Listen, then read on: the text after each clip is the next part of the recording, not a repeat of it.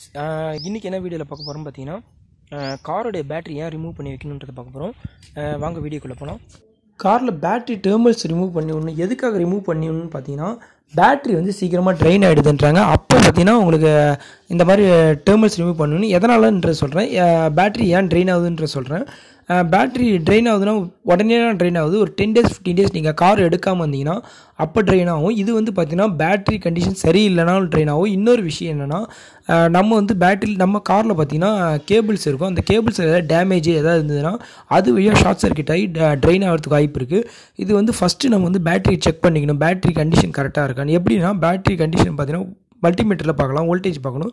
Voltage பார்க்கும்போது voltage மட்டும் பார்க்காம வோல்டேஜ் வந்து ஸ்டாண்டர்டாக நிற்கிதா அப்படின்னு பார்க்கணும். அதாவது டுவெல் வோல்ட் வோல்டேஜ் வருதுன்னா அந்த வோல்டேஜ் வந்து ரெடியூஸ் ஆகாமல் இருக்கான்னு பார்க்கணும்.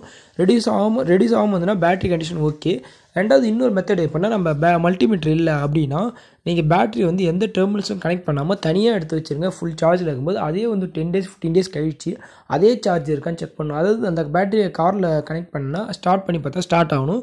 அப்படின்னு பார்த்தீங்கன்னா பேட்டரி கண்டிஷன் ஓகே அப்படியும் பேட்ரி மாட்டி உங்களுக்கு ட்ரெயின் ஆகுதுன்னா நீங்கள் வந்து கேபிள்ஸ் தான் செக் பண்ணணும். கேபிள்ஸ் டேமேஜ் ஆகிறதுக்கு ரெண்டு விஷயம் இருக்குது ஏன்னா பழைய கார்லாம் ten days ten years fifteen days car fifteen years கார்லாம் பார்த்தீங்கன்னா உங்களுக்கு கண்டிப்பாக வந்து கேபிள் எங்கேயாவது எங்கேயாவது ஒரு இடத்துல டேமேஜ் இருக்கும் அந்த வழியாக ட்ரெயின் ஆகும். இன்னொன்று பார்த்தீங்கன்னா ஒரு ஃபைவ் இயர்ஸ் கார்லேயே சொல்கிறேன் எலி வந்து எதாவது கடிச்சிருந்ததுன்னா இந்த மாதிரி ட்ரெயின் ஆகும். இந்த காரில் பார்த்தீங்கன்னா கண்டிப்பாக வந்து எலி கடிச்சு ட்ரெயின் ஆகிருக்கு நான் மூணு நாலு வாட்டி பார்த்தீங்கன்னா ஃபுல்லாகவே ட்ரெயின் ஆகி பேட்ரிகளில் கொடுத்து சார்ஜ் போட்டு தான் வண்டியை ஸ்டார்ட் பண்ணேன். இங்கே பாருங்கள் இந்த கேபிள்ஸ் தான் எலி இந்த வழியாக ட்ரெயின் ஆகுதுன்னு சொல்ல முடியாது. எந்த வழியாக ட்ரெயின் ஆகுது நமக்கே தெரியாது. ஆனால் வந்து ட்ரெயின் ட்ரெயின் ஆகுது இந்த காரில் நான் என்ன பண்ணுவேன் இதுக்கு ஒரு சொல்யூஷன் என்ன பண்ணுறேன்னா எனக்கு வந்து ஏற்கனவே தெரியும் பட் ஆனால் அதை செய்யலை.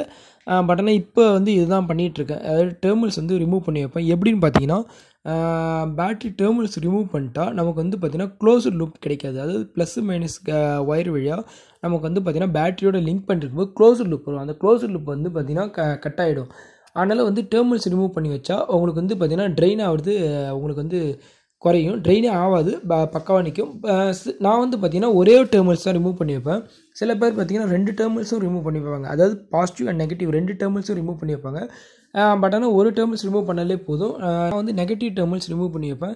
இதை பாருங்கள் இந்த மாதிரி ஸ்பேனரை நான் வாங்கி வச்சுக்கிட்டேன் இந்த காருக்காகவே.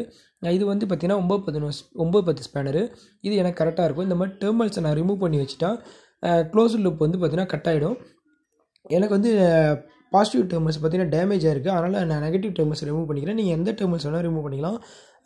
இது வந்து நெகட்டிவ் டேர்மில்ஸ் வந்து கொஞ்சம் நல்லா இருக்குன்றனால இந்த மாதிரி ரிமூவ் பண்ணிட்டேன்.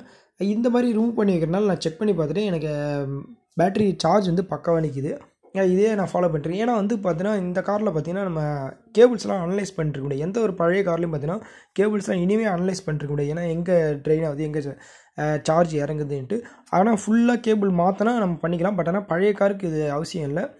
அதை ஸ்பேனர் பாருங்கள் இந்த ஸ்பேனர் தான் நான் வாங்கி வச்சுக்கிட்டேன். இதுக்காகவே வாங்கி வச்சுக்கிட்டேன். எனக்கு எந்த பிரச்சனையும் இல்லை. கட்டிங் பேர் வச்சும் பண்ணலாம்.